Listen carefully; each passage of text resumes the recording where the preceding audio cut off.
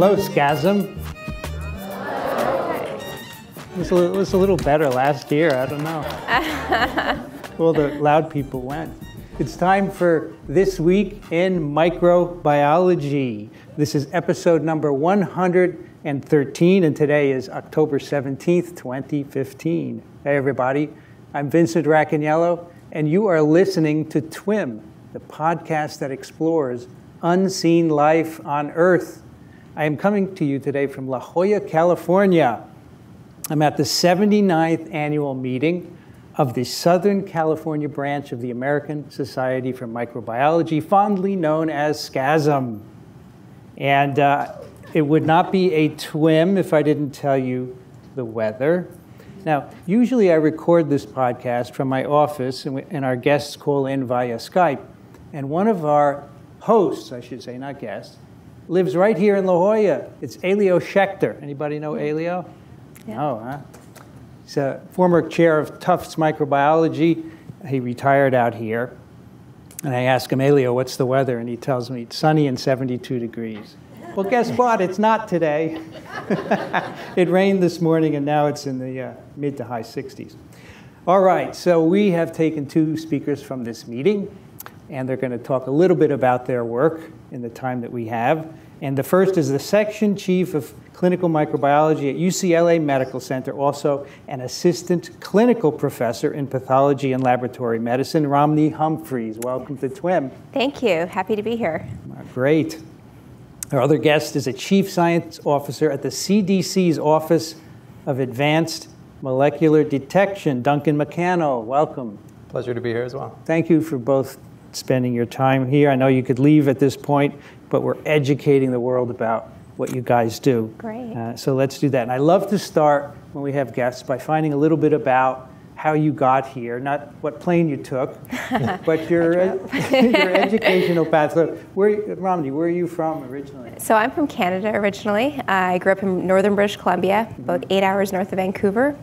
And I did my uh, undergraduate schooling and my PhD in Alberta. And then I came down to Los Angeles to do a uh, clinical uh, postgraduate education program or CPEP program mm-hmm. um, at UCLA. And so that's what allows me to be a clinical microbiologist uh, in the United States. So why did you go into science in the first place? What was the catalyst? Oh.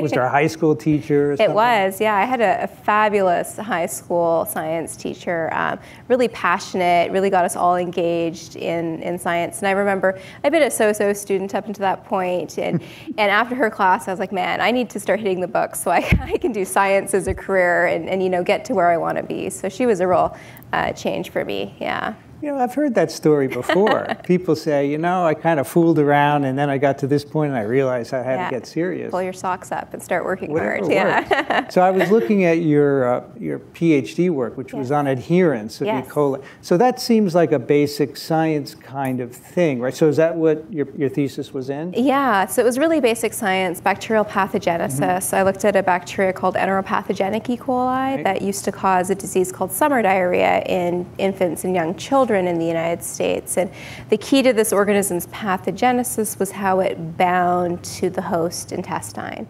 And the whole goal of my PhD was really figuring out the nuts and bolts of exactly how that happened mm-hmm. and then trying to develop drugs to prevent it from happening as sort of a, a model for new therapies. But you could have taken a basic research track after that. Why I did you have. choose clinical microbiology? Um, so I was I did some work with uh, some of the gastroenterologists at the hospital in Calgary, and I was really interested in the clinical aspects of the work they were doing. Um, I also have a background in public health. I worked at Health Canada for mm-hmm. a couple of years, and so that clinical experience also was also very interesting to me. And I think a lot of people, when they do a basic science PhD, don't realize that clinical careers might be a path pathway for them. And yeah. I was one of those people. I had no idea until a friend of mine was explaining to me about these CPEP programs through the American Society for Microbiology that he was planning on doing. And after I learned about that, I kind of went to the hospital lab, met the people, saw what they did. And to me, that was a much more fulfilling career than a, a real basic science mm-hmm. uh, where you focus on small problems that are important, but that, you know, it's this very detailed exploration of one theme. Um, so I was interested in a bit more variety. Yeah, I, I've had many PhD students ask me, how can I get into Yeah. clinical microbiology? So Yeah. that's a tough one if you're not really familiar with uh, how is. to do that. It is. Duncan, how about you? You're also from Canada, right? I am, and actually, I did my PhD right down the hall from Romney at Uh, the same time. Do you know each other? We do. We do. Yeah. because you might not, being just down the hall sometimes, right? It's a small world. It but is. Uh, yeah, I was born and raised in southern Alberta in Calgary. Uh, I went out east to Montreal for undergraduate and then came back and uh, did graduate school, a master's and a PhD at, uh, at University of Calgary. You didn't go to McGill, did you? I did go to McGill. Yeah, figured. What'd you major in? Uh, Biology? biochemistry at the time. And, uh, you know, I think that was maybe one of the turning points for me. Uh, a lot of the model systems that you use in biochemistry are all based on susceptibility. And I realized I was more interested in the bacteria themselves than, than some of the pathways that we were looking at. and what was your PhD in? My PhD was in molecular epidemiology. Uh, it was on Clostridium difficile, and at the time, uh, it was sort of following the, the large outbreak of NAP1 uh, that they had in the Montreal area. And so my PhD work incorporated a lot of the data from there. Did you also do a postdoc? I did. Uh, so my story is basically I, I went down to CDC for a postdoc. Uh, I did a postdoc with the PulseNet program, uh, and I never left. Uh, I moved around in the agency a little bit, but uh, it's been 10 years now, and I'm still there. That works. I forgot to ask you, did you do a postdoc? I did. So my uh, clinical postdoc. Actually, I did two. I did a, a postdoc in a uh, startup company, a biotech company, developing these novel antimicrobial therapies. And then after a year doing that, I switched and did the clinical postdoc Okay. at UCLA. All right, so let's talk a little bit about what you've spoken about at this meeting. Romney, you talked about emerging technologies for antimicrobial susceptibility testing. Yes. Yeah. And I think it would be great to tell our listeners um, why, why does it need to be improved? So what's the current state of that testing and why do we need to make it better? Sure. So, uh, detecting antibiotic resistance in bacteria is one of the key roles that a clinical lab does. Uh, it helps inform, you know, to the physician what drugs are going to work and which aren't, especially today where we have patients that have infections caused by bacteria that are resistant to all antibiotics that we have available. Um, but the challenge is the technologies that we use in the lab for this testing are really old. I mean, they're developed in the 1960s and the 1970s, and we have a great track record with them. However, they take, they require a large number of bacteria, so you need to grow them from the host, and they take a long time to do, you know, at least 18 to 24 hours. And really what we're looking for is how the bacteria respond to the antibiotics, whether they grow or they don't. So it's a, a pretty insophisticated gauge of bacterial resistance. And so uh, I think the time has come for us to look at newer technologies uh, to detect these. And there's a lot on the market, a lot in development, uh, but the keys are to have it quicker and directly from the patient's specimen rather than having to grow the bacteria first and then test it. So you, you gave us some statistics about every hour that you delay does what?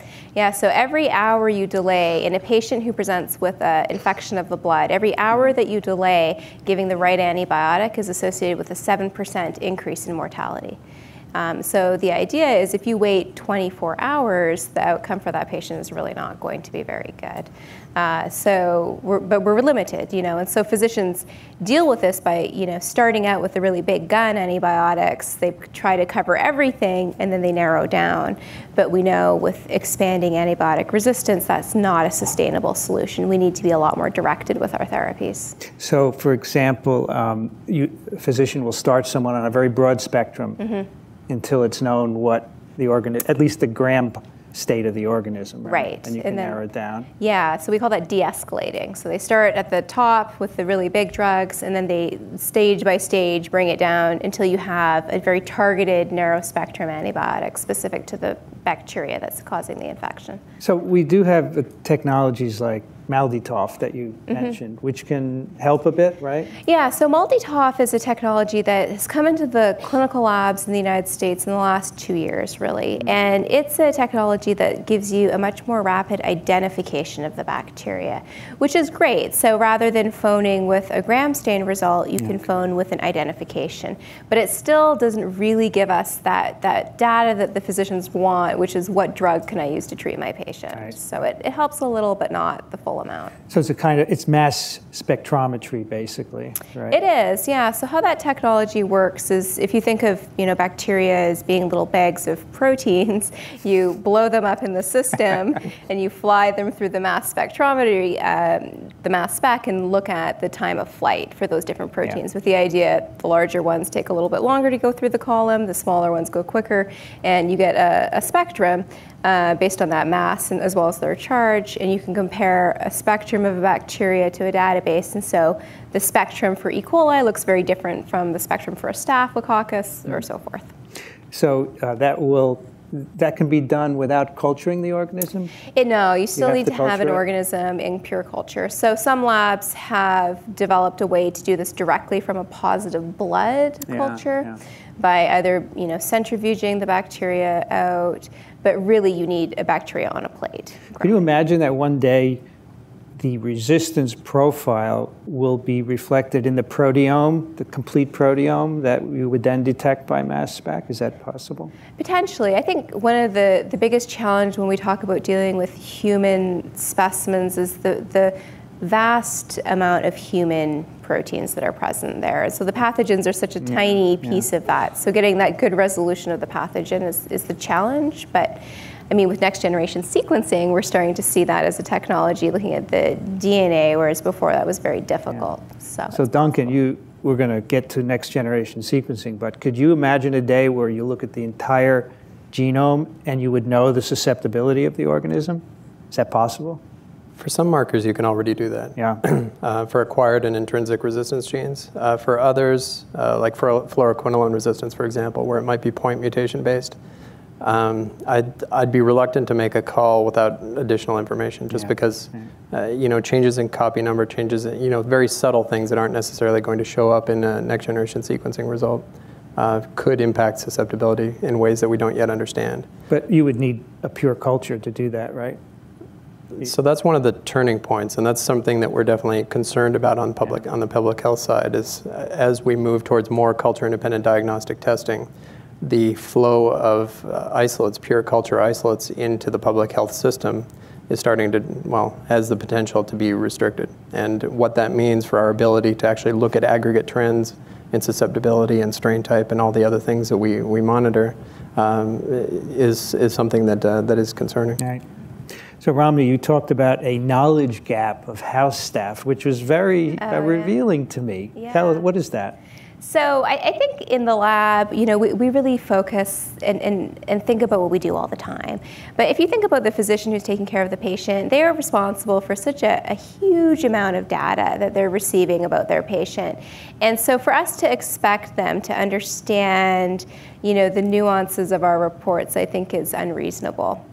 So we, we did a poll with some of our uh, residents in the hospital as well as some of the attending physicians, um, just asking them, you know, do you know what a carbapenemase is? And that's an enzyme that a lot of gram-negative bacteria make, which uh, degrade carbapenem therapy antibiotics. And uh, none of the residents had ever heard of that before, and two of the attendings did. And when we followed it up with a question saying, you know, what drug would you pick if we told you your patient was infected with a bacteria producing, you know, the specific carbapenemase, almost all of them chose an antibiotic that would have no activity against that mm. organism. Wow. And so I think the lab's role is, is more than just pre- generating the results. Our role is really to help interpret those for the physicians so they understand what, what to do with that information.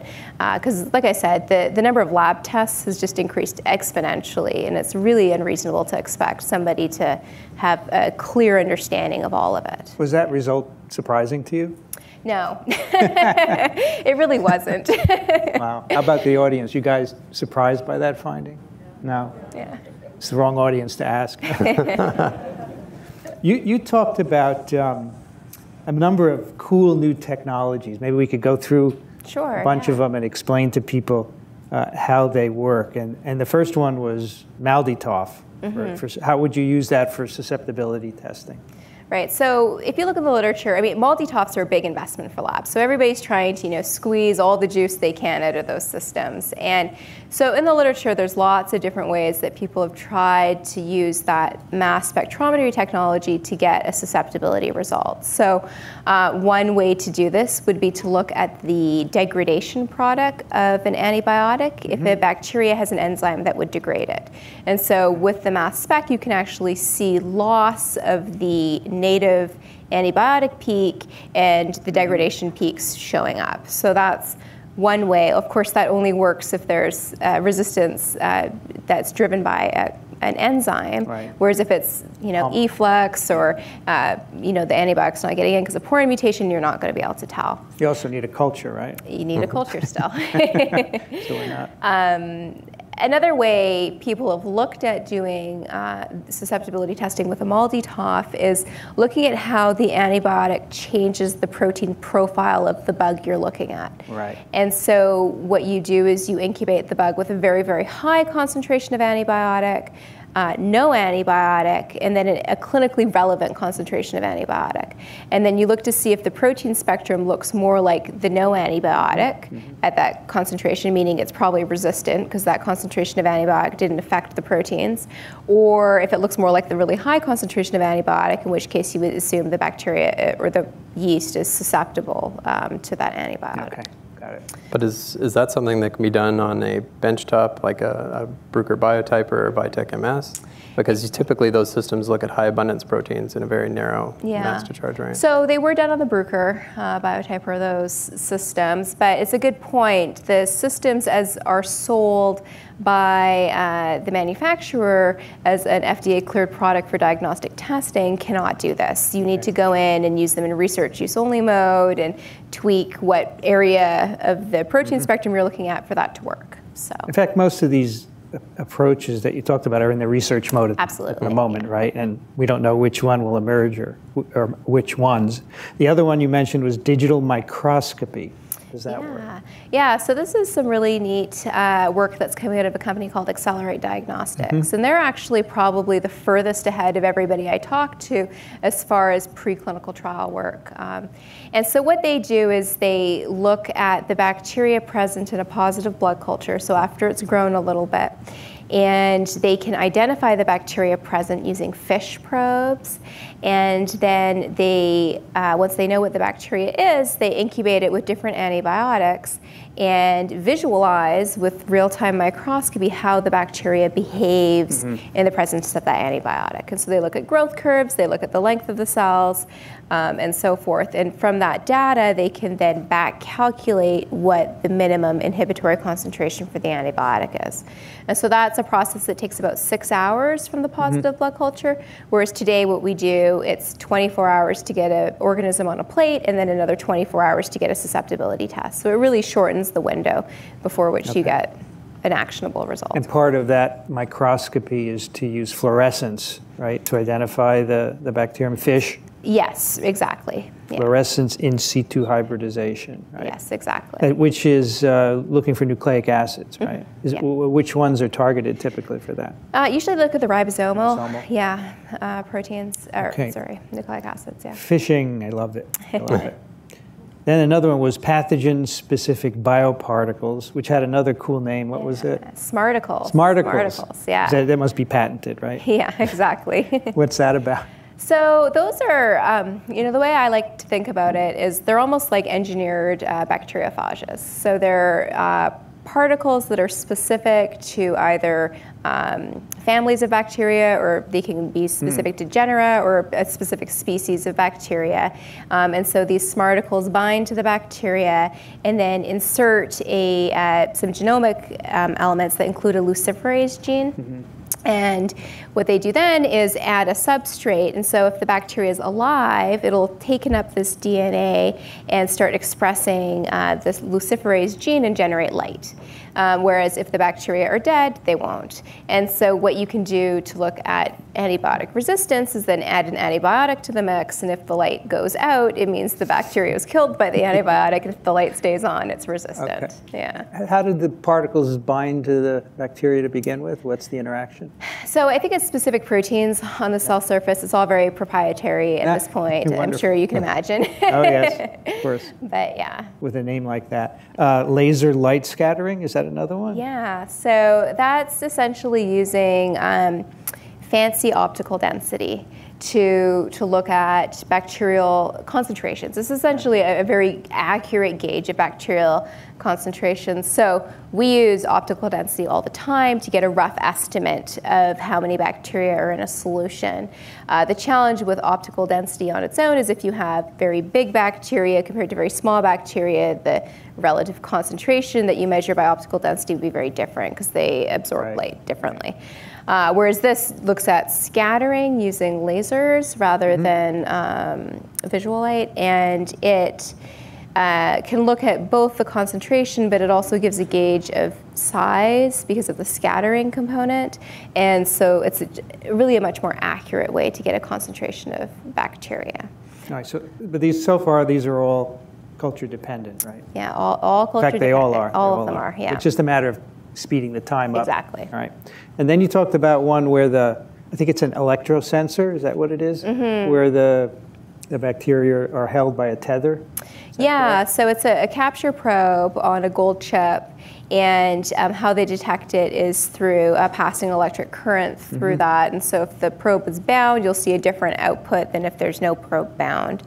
Um, and so what they look at is the expression of RNA by the bacteria. Mm-hmm. Um, and what they found is that you can't really look at the RNA, you need to look at the pre RNA, mm-hmm. just before it's all cut up, um, to get a really early read for um, changes in susceptibility. And so the idea is if the bacteria are replicating, they're generating RNA, um, so you're going to see an increase, whereas if they're not replicating because they're killed by the antibiotic, there won't be any extra RNA present, and you won't see an increase. So it's a very broad assessment of inhibition. It is, yeah. It's not looking at a specific target in any way. No. Which would be interesting, right? Yes, exactly. Okay.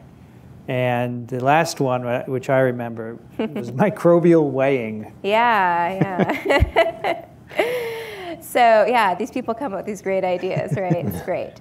So uh, that technology is um, through LifeScale, and what they do is they have a little, um, you know, nano cantilever that they use with a flow cell through it. It's basically microfluidics, right? Exactly. And so um, you have single cells passing through uh, the flow channel onto the end of this cantilever, and the analogy I used is kind of like a springboard diving board. Mm-hmm. And so, you know, as you go towards the end of the springboard diving board, it starts to vibrate. And so, if you're heavier, it's going to vibrate more. And if you're lighter, it's going to vibrate less. And so, they can quantify the number of bacteria that way, as mm-hmm. well as get a gauge on identification.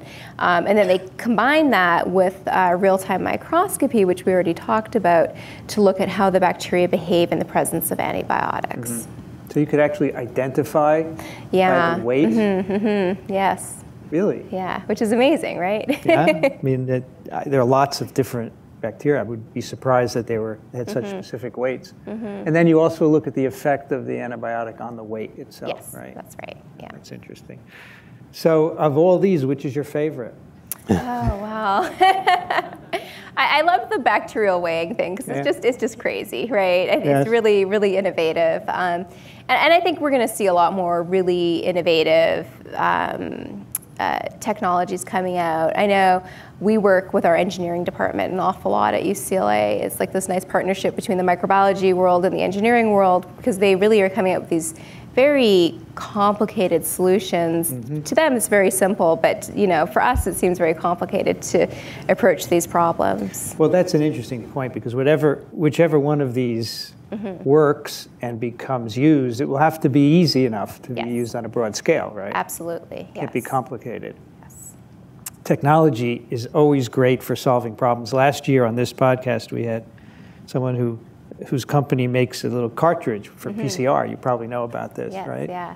it was, it's just fabulous that you can do it all. And I used to do PCR in the early days when you had to do lots and lots of pipetting. The fact that you can do it in a cartridge was, just blew my mind. It was just incredible. Absolutely. Anything else? Does anyone have any questions before we move on to uh, Duncan? This is your opportunity to be, uh, to have your 15 seconds of fame.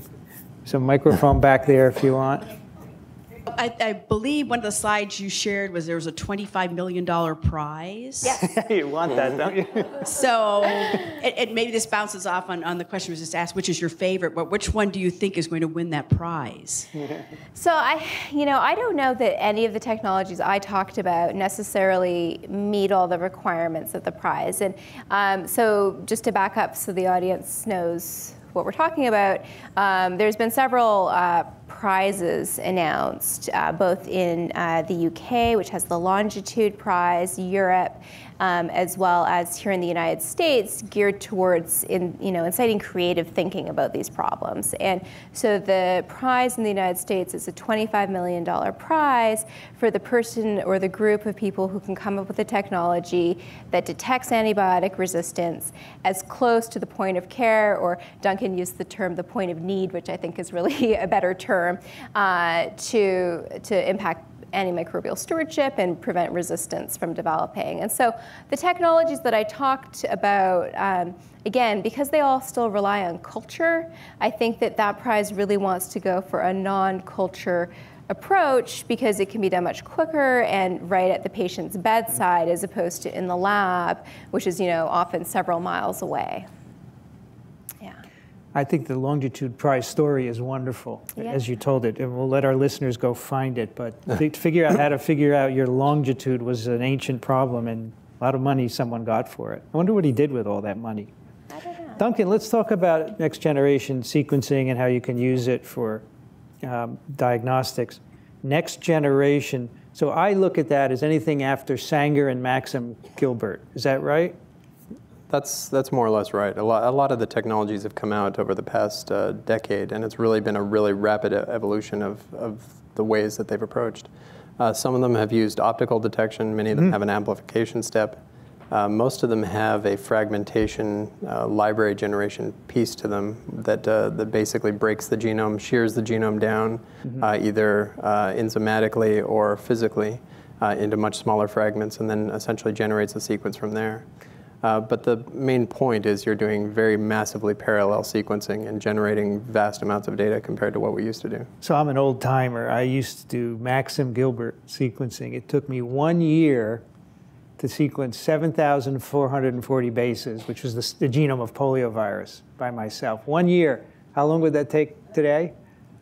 Uh, 10 seconds? It, it, would be pretty fast. Well, it, you're still limited by the duty cycle of the instrument. So I used to run gels, right? So that's not massively parallel, obviously. So the massively parallel means you can do lots and lots of reactions at once, right? When I was in grad school, I was uh, we had to definitely do slab gels, and I still have some hot yeah. flashes at night for having to cast them. But these uh, parallel methods uh, use various ways to detect. So we used to look at bands on a gel and, and look at the sequence that way, but these are optical ways of fluorescence, right? Yeah, they'd, they'd either use fluorescence sequencing, uh, very much like how capillary sequencing works uh, with fluorescent indicator dyes, right. uh, or electrochemical detection. Uh, Ion right. Torrent and some of the others approach uh, work that way. Uh, some of the newer technologies, so there's a number of technologies coming out now that are based on engineered protein nanopores. Uh, and essentially, what those are are uh, engineered uh, pores that are put into a membrane um, in a grid or in a matrix. Uh, and the DNA molecule is uh, deconvoluted and passed through that. Wow. and from that, it's, it's essentially like reading fingers on a rosary bead as it goes through. It's able to detect bases either in triplicate or, mm. Or other features as they pass through. So you call it you call not uh, next generation sequencing disruptive, like as in Uber is disruptive for the taxi mm-hmm. business, or an iPhone was disruptive, right? So why is NGS disruptive? Mostly due to its universality. Uh, I mean, uh, the strongest comparison I could probably draw is if you think back to the 70s or 80s when PCR was first introduced as, an, as a technology. Mm. Uh, initially, there were one or two applications, and suddenly there was this explosion when people realized just the, the diversity of approaches that it could be used in the biosciences. Uh, with whole genome sequencing or next generation sequencing, uh, it's very much the same thing. People are still discovering or cre- creating new approaches to deal with the data to, uh, to do very creative and interesting things with it. Uh, and more importantly, especially on the infectious disease side, there's so much that we don't know about um, not only the microbes that we study, but also uh, the environment that they exist in. Uh, and this is a very powerful new tool to, to be able to assess that. So the, so the best comparison I like to make is when I was doing the polio genome, we would take one virus and do one genome because it took one year, and then we'd spend the next 10 years working on that. Now you can do hundreds or thousands and get a meta picture of what's going on in nature, right? Because of this, it's so rapid. Exactly. And uh, to extend the polio example, one of the things that they're doing for broad scale surveillance is they're actually using metagenomic approaches to sample uh, sewage.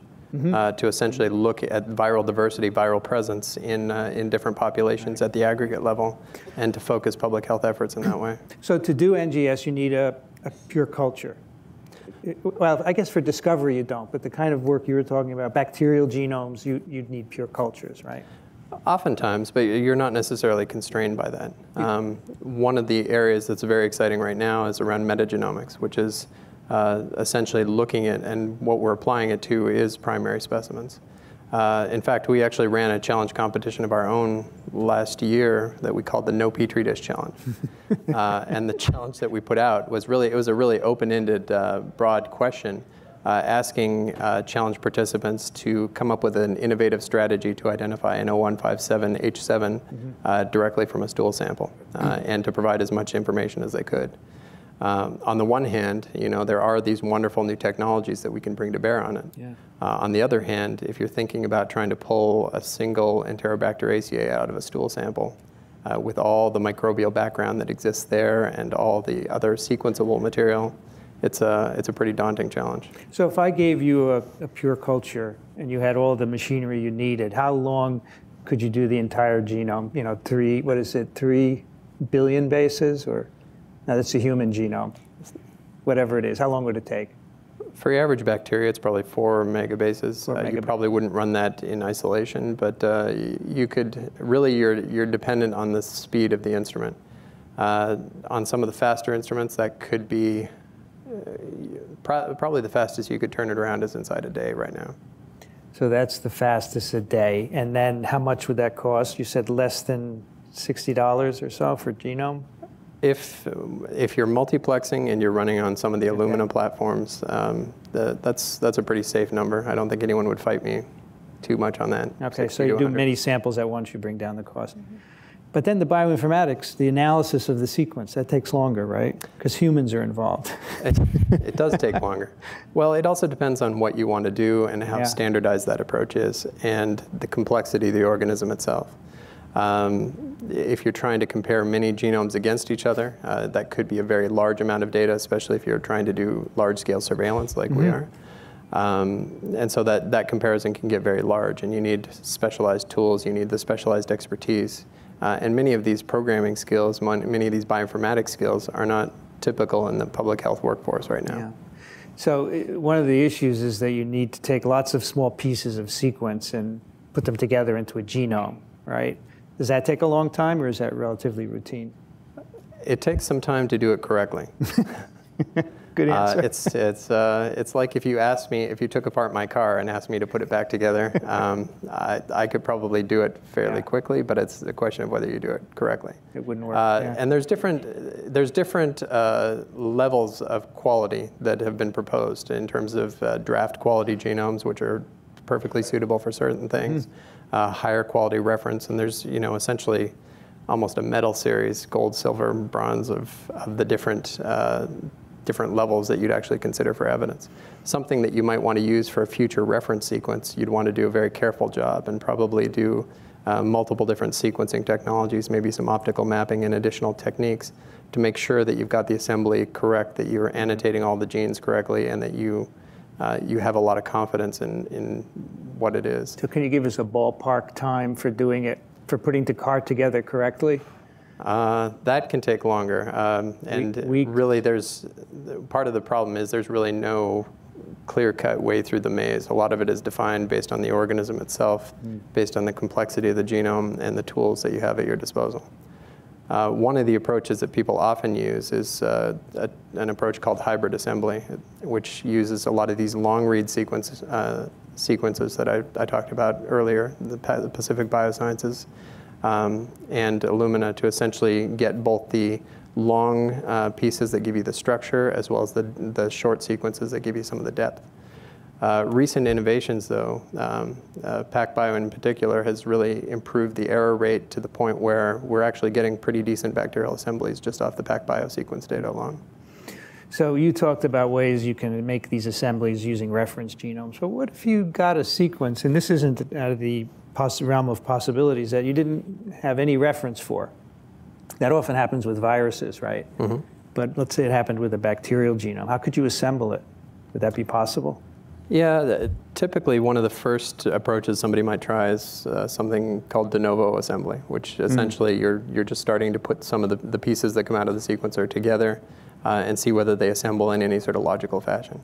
Um, that may work, that may not, uh, but it may give you a clue of what type of pathogen you're looking at and, and okay. inform what the next steps might be.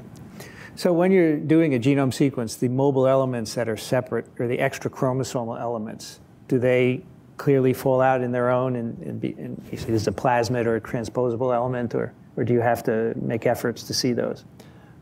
Uh, the answer to that is it depends. Um, depending on how you create your libraries, depending on how you handle your specimen, yeah. uh, you may actually lose those because you know they they they are not necessarily equivalent to what you might expect in the chromosomal DNA. Uh, so if your kit, for example, uh, drops out certain fragments below a certain size threshold, you might lose plasmid, mm. and you, okay. you ideally want to do a separate extraction to make sure that you haven't. You should listen because someday you may be doing this in a I'm clinical sure, lab, I'm right? Sure, we will. I'm, I do not think it's listening. that far away. yeah. yeah. It, it, so you talked about are. this issue of getting it to public health and microbiology laboratories. Can you see a day where a lab will have a sequencer and generate these data, or will it always be done at CDC or similar places? The short answer is it's already happening. Mm. Uh, a lot of the technologies are cost effective. Uh, a next-gen sequencer costs less than a Bruker biotyper.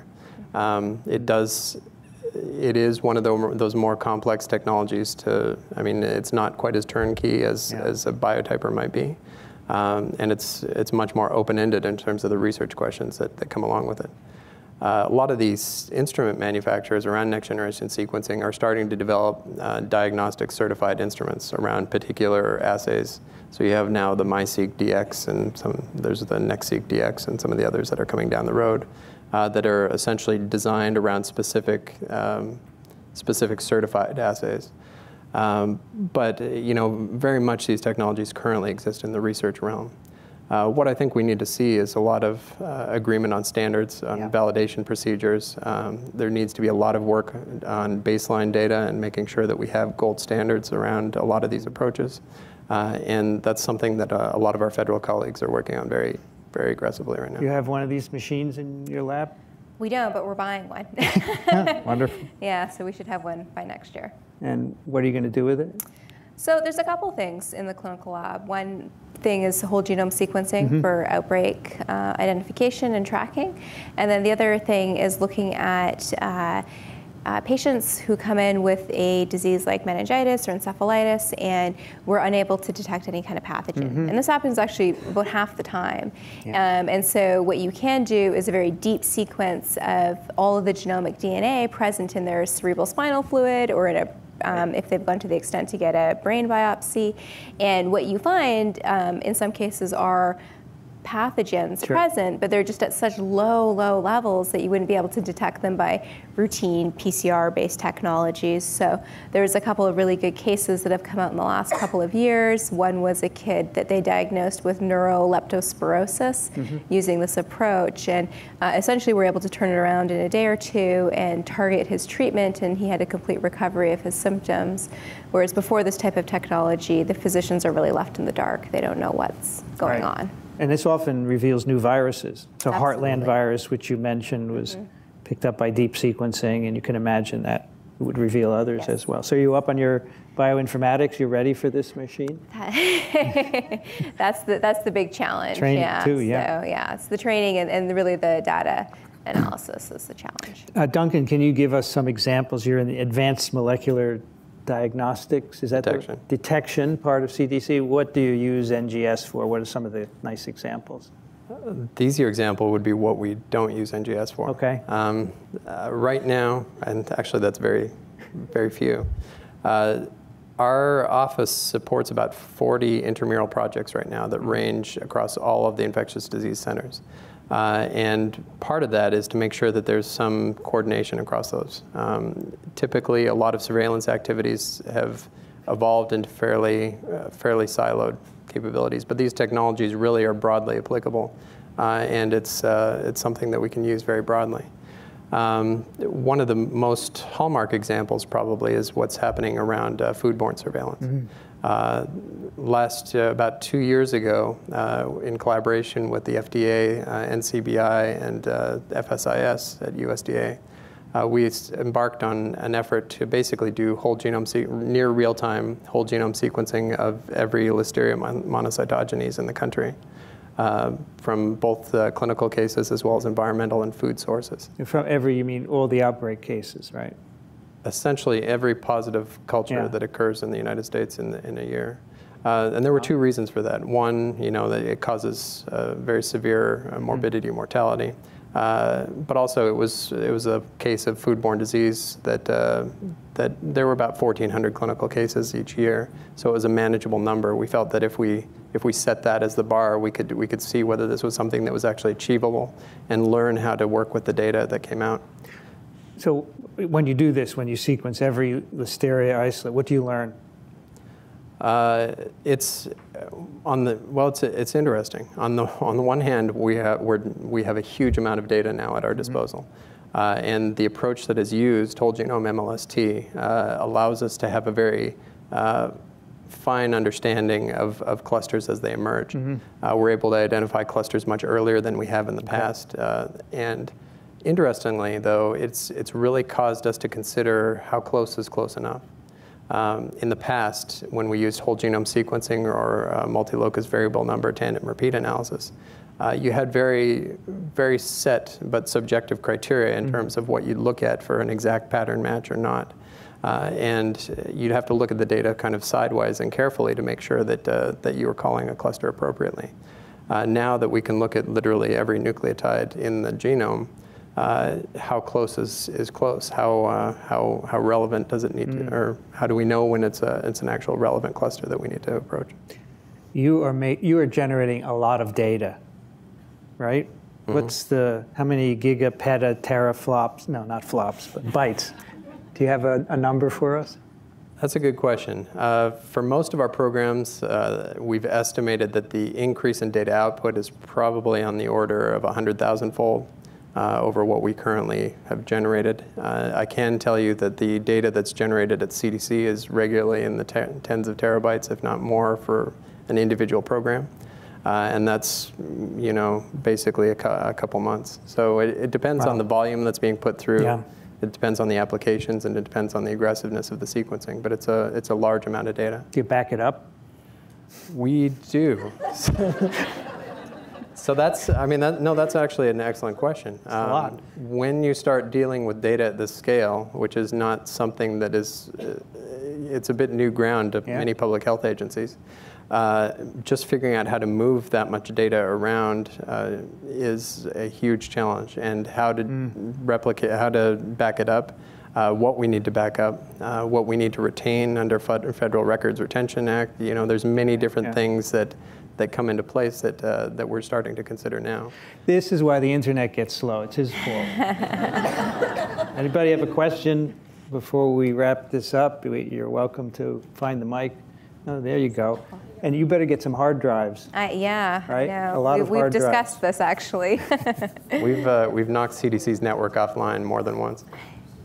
My question is given that uh, you do a lot of work with antibiotics and that a lot of antibiotics become less useful over time, you both seem fairly optimistic, and I'm curious about where your optimism comes from, what it's, what it's based on.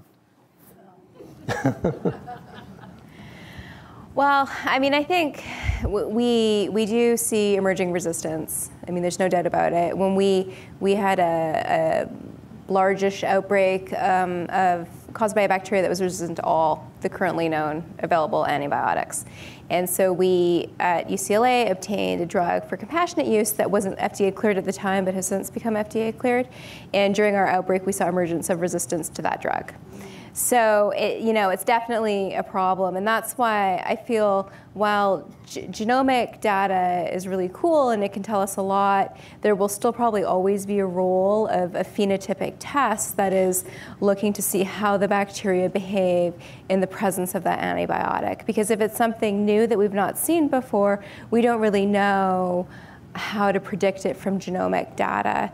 And in that exact case, what it turned out to be was several factors all sort of converging at the same time. So some extra efflux, the gene jumped plasmids to a higher copy number plasmid, which is really hard to resolve at the genomic level. Hmm. And also there was some porin mutations. So combined, all of that led to this like super super bug that was resistant to like really everything. So I think there will always be a role for for phenotypic testing, but the flip side, and I think the optimism comes from the fact that we are really getting a lot smarter about using antibiotics. And we all realize that the days of, you know, just having a new class of antibiotics come out are over. And so we have to be very careful about how we use what we have today and having good diagnostic tests that allow us to target therapy really early in the game will help, um, you know, hopefully prevent the continual expansion of antimicrobial resistance. There's another question here. Yes. Um, hi, my question is um, on the data warehousing. Who are the big players right now that are developing technologies for this? Is it Google, Apple? Are they the computer people that are developing this? So it's it's interesting. Um, both of the companies you described um, are active in this area. A lot of large tech companies, a lot of cloud companies have been very active in in genomics and bioinformatics for some time. Uh, Google has recently launched a, a, Google Genomics portal, essentially to, to use their cloud services for data. Uh, a lot of these, though, are geared towards human genomics. And so uh, infectious diseases tend to be a little bit of an afterthought. But that doesn't mean that we can't benefit from and leverage a lot of these same technologies. Um, accessing cloud services for a lot of these analyses um, is an attractive option. Uh, obviously, there are issues around uh, data management and uh, HIPAA compliance and all the other things that feed into that. Uh, but also, there's just logistical concerns. How do you move data around uh, at this scale? Uh, just within most institutions, internal networks to move a terabyte of data around is, is going to be something that takes hours, if not more. So moving it over the internet is a, is a huge challenge. Uh, there have been a lot of initiatives, especially among uh, academic players and a lot of uh, agencies that move large-scale data around uh, to build these high-speed data exchanges. Uh, and I think that's going to be critical, as, especially as these approaches become much more mainstream. But the other point is, you know, we're starting to see these technologies in places we didn't expect. Uh, one of the uh, very interesting stories out of the, the recent Ebola outbreak in West Africa was the deployment of these uh, Oxford nanopore uh, uh, small sequencers into the field and to the use of those for, for routine sequencing of clinical samples at the front line. We need, we need a faster internet too. Well, I was told to stop at five. Is that? We have, ten, we have five, ten. So we have about 10 minutes. Minutes. Are there any other questions? Five or six minutes. We can have more questions if you have them. With all the sequencing that you're doing, can you give us an example of how it's benefited us in the public health field? Well, um, I, I, would say that the benefits are going to be much more visible in, in the near term. Uh, a lot of what we realized when we started the, the AMD initiative was that uh, we needed to make sure that, that CDC systems were, were up to par to actually make sense of this uh, and to be able to deal with these types of data effectively. Um, in the next, uh, we're entering now the phase though where we're, we're starting to push a lot of these uh, te technologies, approaches, um, methods that have been developed internally uh, and to push them out into the, into the state labs in, in ways that they can be used in a sustainable way. Uh, and that includes things like platforms. It includes uh, recommendations for, for uh, both the wet lab as well as the informatic workflows. Um, and uh, I realize I'm not actually answering your question then. um, but the short answer is you should see a lot. Uh, foodborne is going to be one of the first ones that will be very visible. Uh, there's a pilot project uh, that includes 10 states uh, starting in the next few months. Uh, and by the year's end, that will extend out to 26. Uh, so you'll already start to see that, that footprint. Um, a lot of the other programs, including uh, tuberculosis surveillance and some of the uh, pneumococcal surveillance, meningococcal surveillance, all those are looking at common platforms and leveraging that infrastructure and that investment to apply that to, to other pathogen surveillance activities as well. So there, you can't say of an example where an outbreak has been traced due to next generation sequencing. There's, there's none. Our outbreak was. Yeah. yeah. Yeah. So our we had an outbreak end of last year, beginning of this year at UCLA, caused by a carbapenem-resistant Klebsiella pneumoniae, and it was only identified because my postdocs were doing whole genome sequencing on several. Uh, carbapenem-resistant isolates, and it turned out the outbreak was due to a very unusual organism with a very unusual resistance mechanism that we would not have been able to detect had we not done a a sequence of the genome. And with that information, we were able to develop a PCR, which is a bit quicker than doing a whole genome, and then essentially in almost near real time, uh, identify the outbreak and, and put an end to it much sooner than I think we would have been able to had we not done this. Right, and uh, you know the CDC experiment experience is very similar to that. Uh, it's been applied to dozens of outbreaks. I mean, I'm, I'm, hesitant to single out a single one. I know that I highlighted the caramel apples example uh, with listeria a little bit earlier, uh, but there certainly are other cases around TB, around uh, many other pathogens where uh, it's been instrumental in understanding transmission dynamics and, and applying that to the public health response. Any others before we end? Like any technology, if it's useful, it will rise to the surface, right? And if not, it won't. But it seems to me there's compelling indications for the great usefulness of NGS. All right, this uh, episode of This Week in Microbiology can be found at iTunes and also at microbeworld.org slash TWIM. If you have an iOS or Android device, that's a disruptive technology, the cell phone, right? You can get an app probably for free that'll play the podcast as well, so you can listen to it on your smart devices or, or, uh, or uh, tablets, I should say. And we always take questions and comments on our show. We answer them as part of each episode. You can send them to twim at twiv.tv. And I want to thank everyone for their participation. Romney Humphreys is at UCLA Medical Center. Thank you very much. Thank you. Hope you enjoyed it. Duncan McCannell is at the Center for Disease Control. Thank you, Duncan. Thank you. I'm Vincent Racaniello, and you can find me at virology.tv WS. I want to thank SCASM for bringing us back and Mark Dubar, SCASM president, for making it happen. I also want to thank Beth Marlow, the immediate past president. She had us last year. She discovered TWIM because her husband, who's a musician, found it on iTunes. She said, You should listen to this microbiology podcast. And she did. And she said, I want to bring this to SCASM. So that's why we're here.